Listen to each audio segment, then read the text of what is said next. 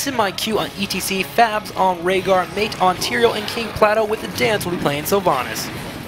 On the far right, the Carleton Ravens. Cadaverific will be playing Diablo, Big Yeller on Malfurion, Patootie on Illidan, once again, Fitzy to be playing um, on, gosh, who is that? Jaina. Josh, that skin was a little bit different for me. and then, of course, uh, Wolfgar will be playing here as well.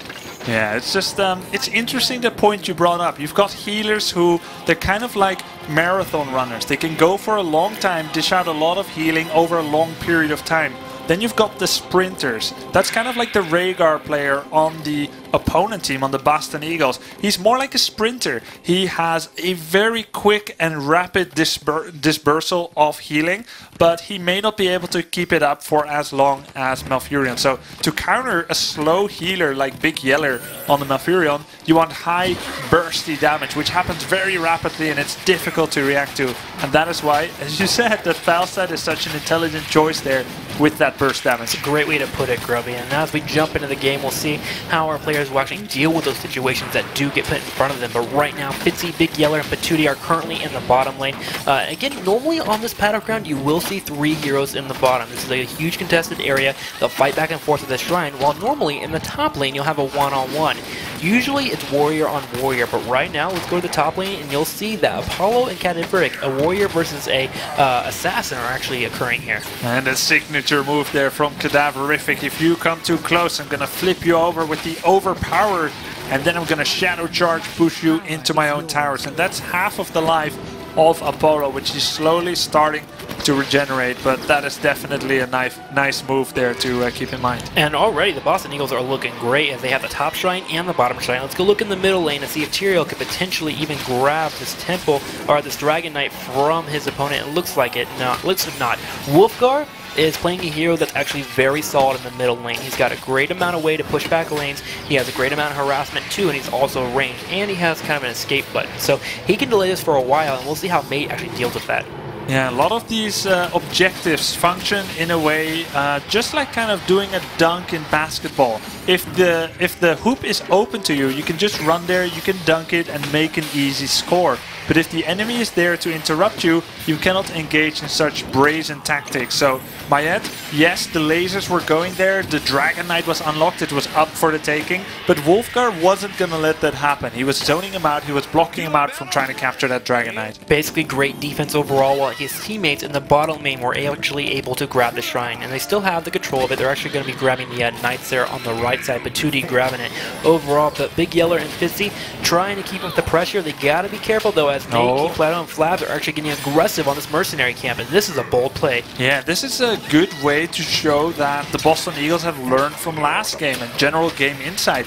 They can see when Patootie suddenly disappears. Is he idling away and loitering at his own core? No, he's doing other objectives. And Mayet was coming in there, trying to interrupt. He jumps on the circle, denies the capture, will jump in. Patootie nearly gets taken down, but nice movement there by Big Yeller as he understood that Patootie was going to be in trouble, needed a little bit of help, and he got a shield and some healing. Omei plays that well, and unfortunately not able to actually secure the uh, Giants from their opponents. They were able to get away, so nicely played over them. I like the aggressive play, but I also like the composure and the realization that you're not going to be able to take something that you can't actually forcefully pull away. So nicely done there. Great job by the 2D and team to go ahead and uh, grab those Giants. In the middle lane, we have the uh, Tyrael trying to grab the uh, Dragon Knight. He might be able to do so. He's got to do it quickly here as the blue team has held the uh, bottom shrine for a while, but finally it's actually pulled away. Let's go look back at the Ravens as it look like they might be in a bit of engagement in the bottom lane.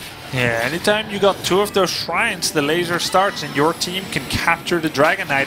So it's up to the, the other team to either interrupt the acquisition of that Dragon Knight or to capture one of those shrines away. It takes a few seconds, you need to drive out the enemy, but if you do it quickly enough, you've got someone interrupting the capture of that Dragon Knight, you will be able to stop that from happening and taking the pressure off the Canto, right, Trikslyr? Well, both teams are currently grabbing the bruiser camps on the top left and the top right, so nicely done for them as they're going to be getting a little bit of pressure and moving towards level 8 slash level 10. Those are the big goals for them. We do have Wolfgar in a little bit of trouble here in the middle, and in fact, it looks like the Boston Eagles getting a little aggressive, want to try and steal this from Patootie. Wow, Patootie Oh has gosh. to go away. He is taking a massive amount of damage and a takedown. And they will be able to steal the Bruiser camp here. Many have come, but wait a minute, not so easily. It's a 4 versus 4 now, and they don't want to give this one away. Fab's in trouble. He gets thrown down. The Wolf will go down as well. And finally, the Ravens are actually able to take the Bruisers. Nice play overall for the Ravens, but it looks like may, may be able to sneak this Dragon. He grabs the Dragon, which means he can now push down the middle lane. Wow, okay, so even though Fabs was taken out there, there was enough space created that Mayed was able to get the Dragon Knight. Well, the blue team just a little bit ahead of experience. Still 8 to 8 though, looking pretty close. Patootie trying to put his damage on top of Mate. He has to be careful though because the dragon can't punt him away. Gonna fall away. They do grab the turrets overall. We'll have the dragon transition to the top lane. They want to get a little bit more damage if possible on this turret wall. Now you can see that health bar on Mayed. The Dragon Knight is indeed sustaining some damage. He's still got about 35% of his life available there. About 20 seconds, whatever happens first. So he will be taken down now. Patootie doing the final hit. Dragon Knight goes down, but his worth was paid off. Four towers were taken down, two in the middle and two in the top lane. That's especially really solid for an early game dragon. Usually Yeah. those are taken up pretty quickly, especially with the hero that Fitzy is playing, Jaina. Actually applies a solid amount of damage to that dragon. So overall, the Boston Eagles got a nice trade out of that dragon. Well done. Overall, looking at it, we're going to have the Eagles hit 10 pretty soon. They're very, very close to it. So you see them spreading out on the map, grabbing whatever they can, getting giants, getting experience, getting towards that goal so they can force a quick team fight. And remember, we do have giants on the very far right that the Ravens want to grab at this point, but this might be a point of contention for the Eagles. Yes, exactly. Uh, well, let's see. Level 10 was reached by the Boston Eagles. Still level 9 for the Carleton Ravens, which means they have to give wide berth to any aggressive forays from the Boston Eagles into their own territory. Fitzy, he ain't happy about this happening, but he can't stop it all by his lonesome self. And they gotta wait. They gotta be patient until they will be more capable of dealing with the enemy. Yeah. Now they reach level 10. Never go into a situation where you're at a disadvantage if you can help it, and they did. But in the middle lane, oh, it looks like Tassadar was picked off very, very quickly here by Apollo and Mate. Mate just jumping straight on top of him. This is a 4v5 here, though, for the Ravens. They charge on Mate. He gets away nicely there using his Q ability. Patootie dives in as well, trying to get on, play on Plato. Apollo, though, putting the damage on the team, and here comes Semi Q. He dives into the fight. They're trying to chase down Patootie. Overall, it looks like the Ravens are going to be forced to retreat as they just simply do not have the numbers. Yeah, but I'm impressed by the courage here of uh, the Carleton Ravens. They knowingly went into this in a 4 versus 5 situation. Sure, it was a 4v4 for a bit, but they knew that anytime the ETC on Semicute could be jumping in there. But what happened is, no takedowns on either side. A lot of the heroic abilities were used for both teams, but as it stands right now, one heroic is up for Boston Eagles. Carleton Ravens still have two available. I feel like the Ravens are doing a better job of staying in this game, though, compared to Cursed Hollow. They're going to the mid game relatively even overall. I feel like the pace for the Eagles is a little bit faster, um, and they're trying to keep that pace up, but Ravens are matching it just a little bit. However, the shrines are now up. The bottom shrine is incontested here for the Ravens. They do have it secured. It looks like Fabs may be able to take it away, and the blue team does actually have the top shrine, which means they could try to grab a dragon now if they would like to in the middle lane. All right, uh, three different points of fighting, top, middle, and bottom. Semicute will now try to get the Dragon Knight here, and he is at 99%, and he gets it. Wasn't able to steal the bottom shrine there. Let's take a look at the bottom shrine where there was a last ditch effort to try and capture it. They will now start to dis disperse themselves. Tassadar, we, we kind of missed it there, but he got taken out once again. Sorry, we didn't show that one as uh, the Dragon Knight here pushes into the top uh, fort. We'll start kicking Patootie away, trying to do some damage. Solid play here by the Eagles. They realized that the three members for the Ravens were down in the bottom near the shrine, which allowed for them to grab a couple of turrets up here in the very top. Try and push your advantage where your opponents are not at. Finally, though, it looks like the entire team for the Eagles are grouping up. They've hit level 13. They may want to engage here. Fitzy is the target if possible. Watch for May to possibly run in and try and cause some aggression. Fabs, Paulo, and Plato are focused down the fort, and here comes the engagement, Grubby. Fabs will heal himself, but that means that his major heroic ability healing cannot be used on anyone else right now. He's going to get focused again. He's at 10% life. In comes Patootie. They take down the Rehgar player. 5 versus 4 situation. They are out for blood. They're not ready here. They want to keep continuing, but a complete dispersal of the opponent means They are too far. We cannot advance that far. Nice pickup, though. Remember, the Boston Eagles were at an advantage in that fight. They had a dragon, they had a lot of power, they had momentum, but the Ravens came in and kind of put a stop to that momentum. Now they can put momentum in if they would like in their lanes. They have Patootie once again soloing these bruisers. They have members in the top lane, the bottom lane, and the mid lane, getting to level 13 themselves. So for the next team fight, they're more even than they were in that last fight. Yeah, that's right, but they did use a number of heroic abilities. Carleton Ravens will have about one to three heroic abilities available in the next half minute or so. For Team Boston Eagles, they've got all five. Now, can they start a fight in next 20 seconds? That would be immensely advantageous. I think they'll be on the lookout for it. They are. They're looking for Diablo up here in the top right corner. And cadaver is all by himself. May just needs to use a judgment, start a fight, and then Semi-Cute and Plato can go from there. We'll see if they'll try and jump on the character. However, Cadaver is playing a character that is a little bit on the healthy side, a lot of health overall. So um, if you do jump on him, you need to make sure that you are going to secure that takedown, and they're not quite sure. Gonna go ahead and spread out a little bit, as in the bottom lane, we have a lot of aggression here from the Ravens. They have Jaina, Patootie, they have uh, Big Yeller. They were putting a lot of pressure on, and as the Eagles actually transition down there, they pull back wisely. Yeah. Yeah, and it was a, a good uh, division, uh, a good safe play by Cadaverific there as all the heroic abilities are off of cooldown again. They're available. Keep in mind, Boston Eagles is leading with 1 to 0. This is the best 2 out of 3 match. If Boston Eagles wins this one, they will move on to the Epic 8. And Super 16 will have Carleton Ravens being left behind there, knocked out of the tournament. But if they are able to bring it back to a 1-1, they'll be a decider. The Eagles grab some infrastructure down the bottom right as they do take out the fort. They had Tiro right above, actually, looking at this path, looking for any type of uh, aggression that could come from the Ravens. However, that did not occur. The Ravens, though, did grab the top shrine.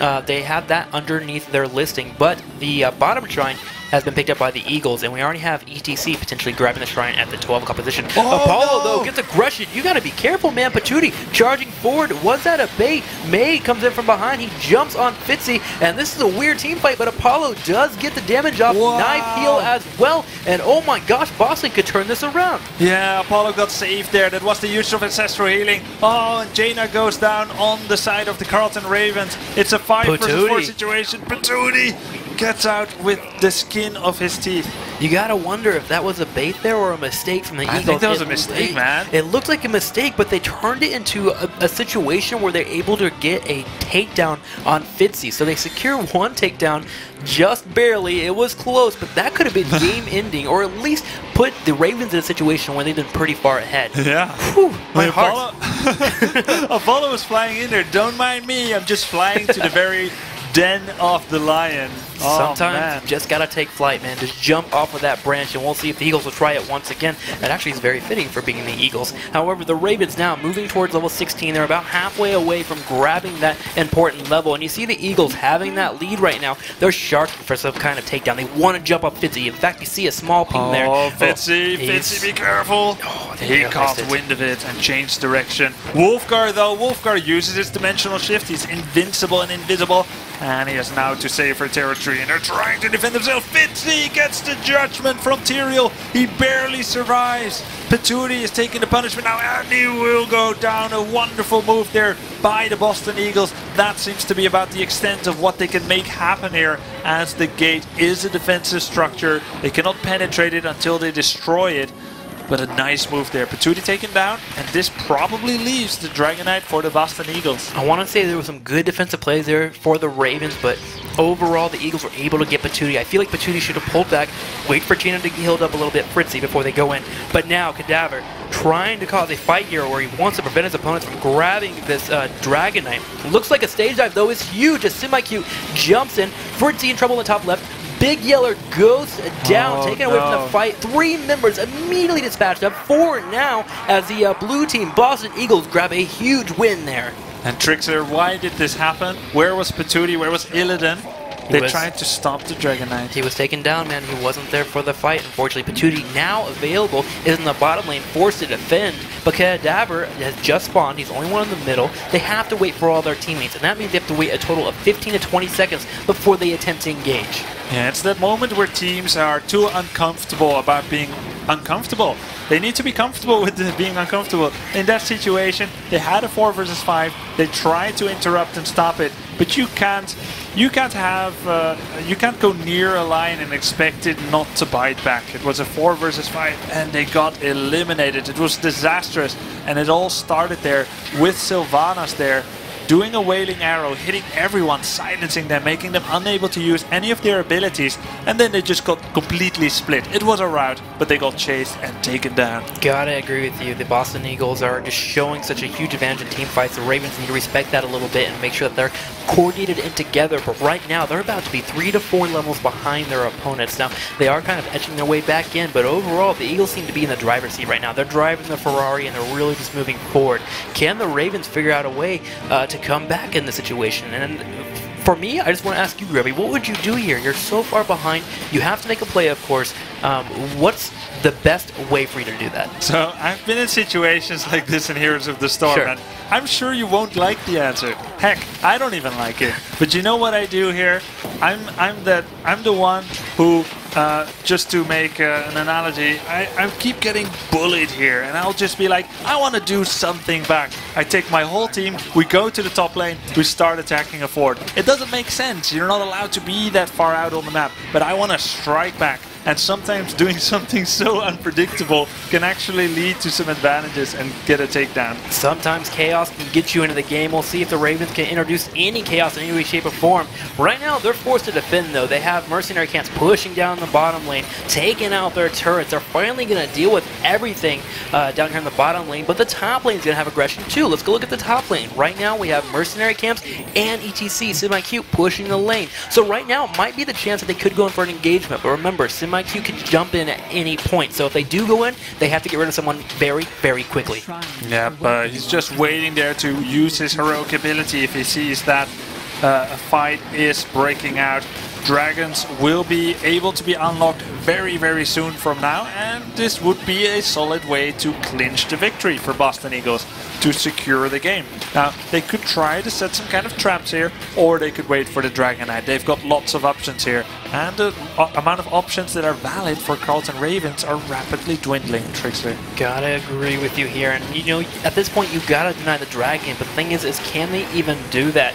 And I don't think they can. The correct choice, or the, one of the choices that they have here, is let your opponents get a dragon, push out all the lanes if possible, and then when the dragon is secured, you force a team fight. In fact, the Boston Eagles might be at a small disadvantage because the dragon's big and lumbering. If you can fight around it and not take any hits, you might be able to get into a 5v4, get a pick off, and go from there. But they have to be brave, they have to be bold for it to happen. The Ravens now are posturing for a defense as the Eagles are looking to end the game. Yep, and are they going to do it the safe way? Are they going to take down one and then two keeps? Or will they go straight for the core? It does look like they will attack the bottom keep first. Semi-cute coming in there, using that fire breath, whacking away at those towers. And uh, now this fight starts. Carleton Ravens jump in. The Ravens are going for it. Apocalypse does hit Patootie, dives into the back line, but he's all by himself. The burst from Apollo takes out the member. Big Yeller in trouble as well, trying to run away. Fitzy as well, low in HP, but overall the Eagles have not lost anyone yet. Apollo moving forward. Fitzy is taken down. Cadaver in trouble at the same time, will be forced to retreat. Wolfgar goes down, three members down for the Ravens. The Eagles moving forward, wanting to clinch victory here, and it looks like they may just have it. Wow, Cadaver, if it got taken down there, it's a five versus one situation, a massive advantage. They're going for the core, they're going for the throne, and it does look like they'll be able to get it. Down goes the core, and a victory to Boston Eagles for Boston College. That's a 2-0 Trikslyr. The Eagles soaring above the competition